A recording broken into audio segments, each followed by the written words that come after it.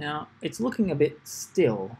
Don't we wish that we could animate it? Don't we wish that it would bob up and down or something like that? Hey, what a good idea. I think so too. Let's do that. Okay, so we're going to use React animations.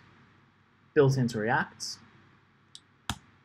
Pretty easy to use. We're going to need this object, this animated object, and that's pretty much all we're going to need. Oh, we're also going to need um, to import a use effect because we need to use effects. If you've used React before, which you should have, you will be very familiar with this, this little number.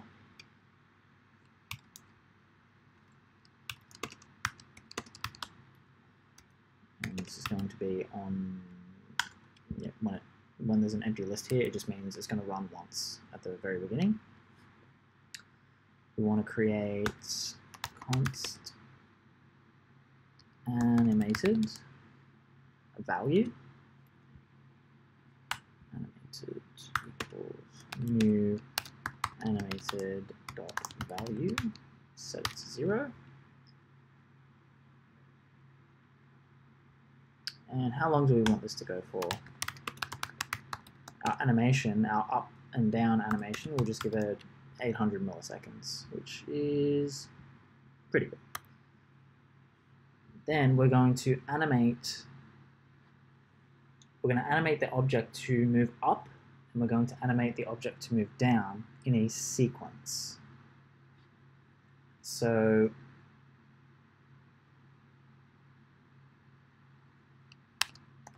the way to do that, so what you would normally do if you want to create an animation, you go animated.timing, which means that over the time period, animated timing, animated, and then we give an object, and I'm going to go to value. Basically means this animated value starts at zero. We want to animate it to, say, 20. Ugh. And then the duration, which is going to be the duration we just created. Yes, we get it. And then use native driver to true. It's just not really sure what that is, but I know that it's needed. So, actually, let's change this to 5,000. So, and actually, we'll call this, we'll come up with a, a, a better name for this. This will be translate y, which is exactly what we're going to be changing. We're going to go down here, and to animate a view, we're going to change this from a view to an animated view. And style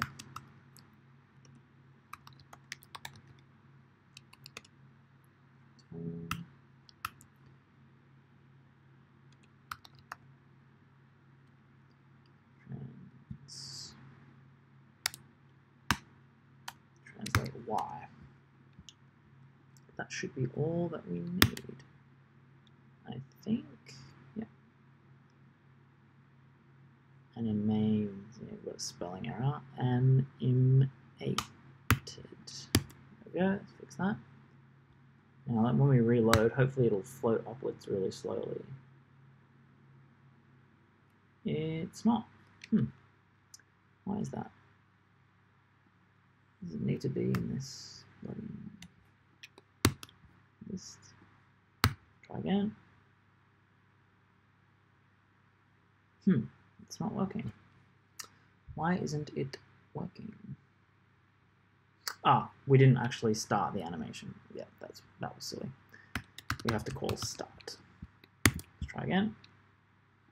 There we go. Ah, it's actually moving down. Very, very, very, very slowly. That's exact. You know, we'll change it and we'll do it 200. Try again. Yeah. Woo! Look at that. Now, we actually want it to move down and then back up.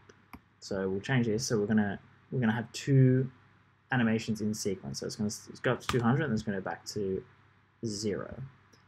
But we can't just, the way that we need to call these is we need to wrap these this these two animations in a sequence. They are a sequence of animations. I wonder what type of object we're going to need for that. Oh, a sequence. That's right. A sequence object as a list.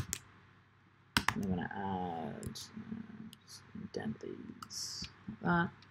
And then now we're going to press start on our sequence. Now when I save that, uh, one of these, save that. Now it's going to go all the way down, and then it should come all the way back up.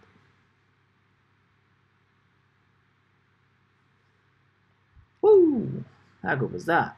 Alright, so we're going to change this back to 20. I'm going to change this back to about 80, uh, about 800 milliseconds. So it went up and down very, very slowly. Now, we want this animation to loop. We want it to loop over and over and over, essentially forever. So we're going to put every single thing inside an animated dot loop. Now when we save that, come back, we should bob up and down essentially forever, which is exactly what we wanted.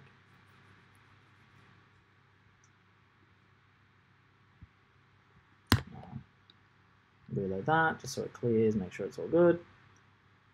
Yep. Now we have a nice little splash animation. How good is that?